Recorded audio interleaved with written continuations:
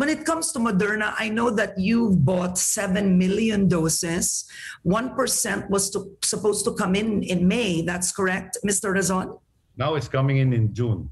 All right. So let's talk about that. Um, do you have a specific date already in terms of the, uh, the first arrival of Moderna, sir? Well, we were told by Moderna the week of June 21. Okay, so third As week. that arrives, we want to start inoculation right away. And who gets inoculated first week, uh, third week of June, sir? Well, you have to follow the government priority system.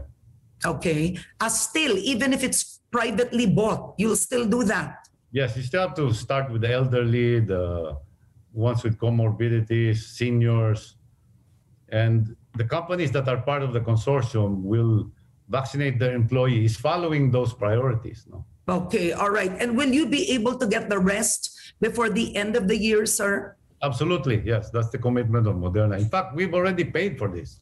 Okay, how much did you pay for it, sir? I mean, I'm curious. Well, the private sector uh, portion, we've paid already 93 million US dollars.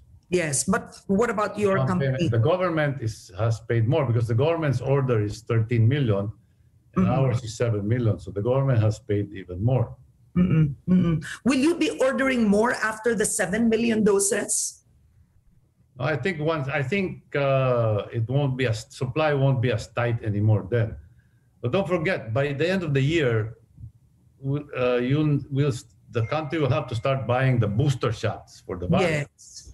Yes. So that's another round of inoculations. And Uh-uh. the, the way it's looking now is uh, we're going to have to get vaccinated yearly, at, at least yearly, for the next four or five years.